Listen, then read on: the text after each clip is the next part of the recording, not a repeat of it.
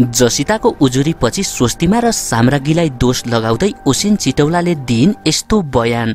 कान्तिपुर टेलिभिजनको विवादित कार्यक्रम इट्स माई कि प्रस्तोता ओसिन चिटौलाले प्रेस काउन्सिलमा पुगेर बयान दिएकी छिन्। उनले आफूबाट गल्ती भएको स्वीकारित्व व्यक्त गरेको काउन्सिल स्रोतले बताएको छ। काउन्सिलले आज दिउँसो एक बजे ओसिनलाई बोलाएको थियो। उनी बोलाइएको समयभन्दा आधा घण्टा ढिला गरी पुगेकी थिइन्। टेलिभिजन स्रोतका अनुसार प्रेस काउन्सिललाई अटेर गरेर बस्ने मुडमा व्यवस्थापन थियो। तर नियमनकारी निकायलाई अवज्ञा गरेर साध्य लाग्दैन भन्ने भएपछि जाने निर्णय भएको हो। ओसिनले टेलिभिजनको व्यवस्थापकीय र सम्पादकीय टिमको दलबल आफूसँग लगेकी थिइन्। काउन्सिलका अध्यक्ष बालकृष्ण बस्नेत स्वयं छलफलमा सहभागी भए। काउन्सिल संघको छलफलमा सिटौला अलि हताश रूपमा प्रस्तुत भएको स्रोतले बतायो ओसिनले अरूको निजी जीवनमाथि असर पुग्ने कुरा आफूबाट नभएर गेस्टबाट आएको उनले दावी गरिन्। मैले प्रश्न मात्रै गरेको हुँ। विवादित कुराहरू गेस्टबाट आएका हुन्। ओसिनको भनाई उद्धत गर्दै स्रोतले भन्यो उनले काउन्सिलले आचार संहिता पालनामा लिएको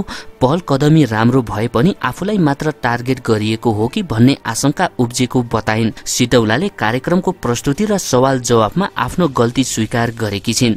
कार्यक्रमबाट अरू व्यक्तिहरूलाई क्षति पुगेको कान्तिपुर टोलीका सबैले महसुस गरेका थिए। सिटौला संघको छलफल सकिए पश्चात बसेको आचार संहिता अनुगमन उपसमितिको बैठकले इट्समाई सोको केही अंशहरू तत्काल हटाउनु पर्ने निष्कर्ष निकालेको छ। यस बमोजिम नायिका स्वस्तिमा खड्काले बोलेको खानासँगै सेक्स गर्न मन पर्छ भन्ने संवाद जवाब दिन नसके लुगा फुकाल्नु पर्ने शर्त सहितका प्रश्नोत्तर र अन्य कलाकारहरूको व्यक्तिगत जीवनमा असर पार्ने संवादहरू यथाशक्य चाँडो हटाएर त्यसको जानकारी गराउन टेलिभिजनलाई लिखित निर्देशन दिएको छ।